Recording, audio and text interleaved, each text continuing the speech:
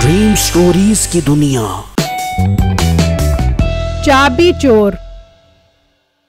एक वक्त की बात है, किसी गाँव में एक बहुत बड़ा चोर रहता था। वो अपने साथियों के साथ मिलकर रोज रात को चोरी किया करता था। वो लोगों के घरों में जाते और जो चीज़ भी हाथ लगती, वहाँ से उठाकर ले आते थे। गाँव वाले रोज हुई चोरी से बहुत परेशान थे। भाई रात को मेरे घर से मेरी बीवी के सोने का हाथ चोरी हो गया। हाँ भाई परसों मेरे घर से भी चोरी हो गई। चोर हमारा सारा पैसा चोरी करके ले गया। भाई अब हमें कुछ करना पड़ेगा। इस तरह चोरियाँ होती रही तो हम एक दिन कंगाल हो जाएँगे। इस तरह सब इकट्ठे होकर गाँव के वडेरे के पास आते हैं और उन्हें सब माजरा बताते हैं। ये तो बहुत फ़िक्र की बात है। इस तरह तो हमारे माल के साथ साथ हमारे बच्चे भी महफूज नहीं हैं। क्या आप सब लोगों ने पुलिस में रिपोर्ट जमा करवाई है? नहीं वडेरे साहब हम क्या खाक रिपोर्ट जमा करवाएँ? थाने वाला इंस्पेक्टर तो हमारी कोई बात नहीं सुनता। अच्छा तो ये बात है। तुम चलो मेरे साथ थाने।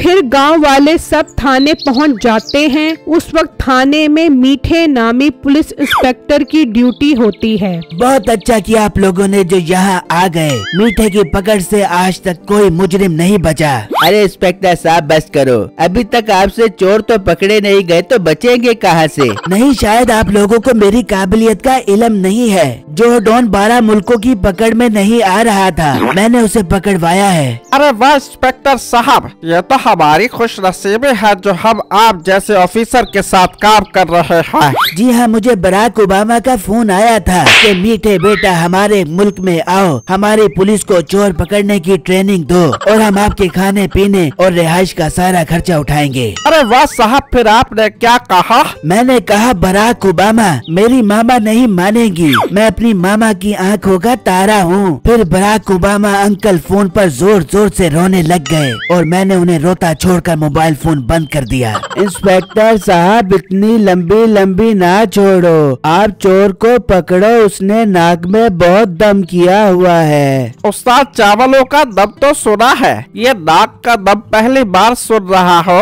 मुंशी ये वो दम है जो यकदम होता है। खैर आप सब लोग जाएँ हम जल्द उसे पकड़ लेंगे। बस फिर वो वहाँ से चले जाते हैं तो मुंशी कहता है बेटे उस्ताद लोगों को बहुत शक हो गया है। अब कुछ करना पड़ेगा। कुछ तो हम बाद में करेंगे। मुझे तो इस बात का गुस्सा है कि कल उन्होंने सोने का हार चोरी किया और मुझे मेरा हिस्सा अभी तक नहीं पहुँचाया। साहब मुझे तो लगता है वो सारा बाल खुद ही घबत करने के चक्करों में है। मीठा इंस्पेक्टर ऐसा नहीं होने देगा। तो गाड़ी निकाल उनके पास चलते हैं। फिर वो दोनों गाड़ी में बैठकर उस चोर के अड्डे पर पहुँचते हैं। हाँ मीठे खैर से आए हो। राणा साहब बहुत अफसोस की बात है। कल रात आपने सोने का हार चोरी किया और मुझे मेरा हिस्सा अभी तक नहीं भेजा। बेटे तुझे तेरा हिस्सा कब नहीं मिला? हार बेचेगी तो तेरा हिस्सा तुझे पहुँचा देंगे ना ओए यार मैं तो ऐसे ही खाम खा में परेशान हो रहा था। अच्छा राणा साहब आप लोग अभी कुछ दिन चोरी न करो। लोगों को शक हो गया है। आज पूरे गाँव वाले आए थे थाने में। बहुत गुस्से में थे। बेटे हमें ये बातें न सीखा।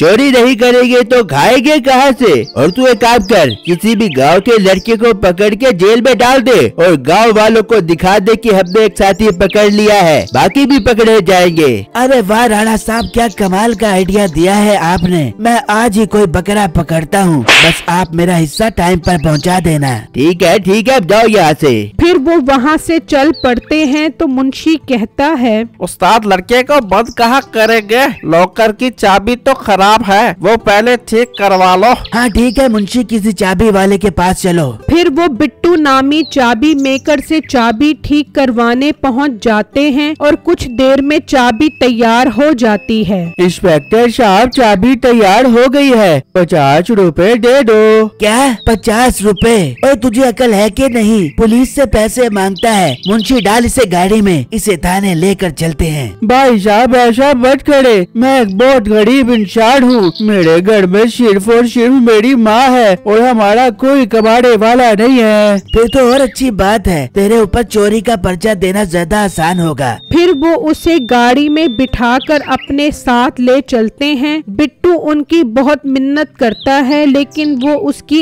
एक बात नहीं सुनते और जेल में बंद कर देते हैं। जब ये बात बिट्टू की माँ को पता चलती है तो वो रोती हुई पुलिस के पास पहुँच जाती है। इंस्पेक्टर साहब इंस्पेक्टर साहब आपने मेरे बेटे को क्यों बंद कर दिया है? इसका क्या कसूर है? ओ अम्मा जरा आराम से। तेरा बेटा कोई मासूम नहीं है। रोज रात को लोगों के घरों से चोरियाँ करता है। इंस्पेक्टर साहब आपको कोई गलत फहमी हो गई होगी। मेरा बेटा तो चाबियों का काम करता है। इंस्पेक्टर साहब इसे छोड़ दो। ओ अम्मा बस कर हमें सब पता है। दिन में चाबे और रात को लोगों के घरों से चोरियाँ करता है। अभी जान पुलिस इंस्पेक्टर झूठ बोल रहा है। और चुप कर चुप कर। वरना अंदर आकर तुझे लित्तर लगाऊँगा। मुंशी तो बस गाँव वालों को बुला कि हमने चोर पकड़ लिया है। ठीक है उस्ताद अभी लेकर आता हूँ। फिर वो बिट्टू की माँ को बाहर निकाल देते हैं और मुंशी सब गाँव वालों को ले आता है। अच्छा तो ये रात को हमारे घरों से चोरियाँ करता है। हाँ यही चोरियाँ करता है। देखा नहीं चोरी का माल खा खा कर इसका पेट कितना मोटा हुआ हुआ है। बिट्टू उन सबको यकीन दिलाने की बहुत कोशिश करता है लेकिन कोई उसकी बात का यकीन नहीं करते और वहाँ से चले जाते हैं। रात होती है तो बिट्टू की माँ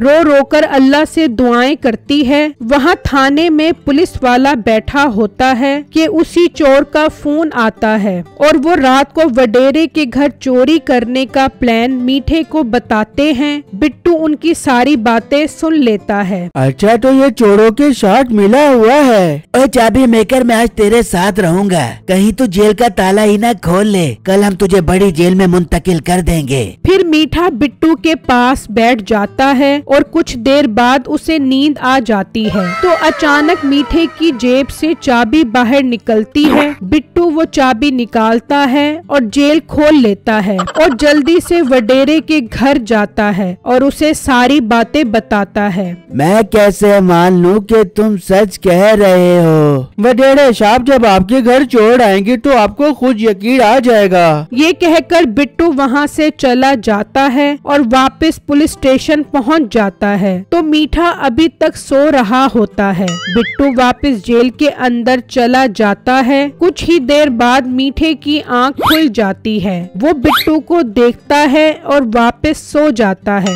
वहाँ वडेरा अपने बंदों को दरख्त के पीछे छुपा देता है। कुछ ही देर में वो चोर चोरी करने आता है। वडेरे के बंदे बाहर निकलकर उसे पकड़ लेते हैं और उसे थाने ले जाते हैं। मीठे उठ देख कौन आया है। चोर भाई आप कैसे पकड़े गए? मीठे इसे हमने पकड़ा है ये असल चोर है। और जिसे तूने अंदर बंद किया है वो चोर नहीं है। अच्छा भाई साहब मैं इस चोर को अंदर बंद करता हूँ अभी। मीठे अब तू इसके साथ अंदर जाएगा।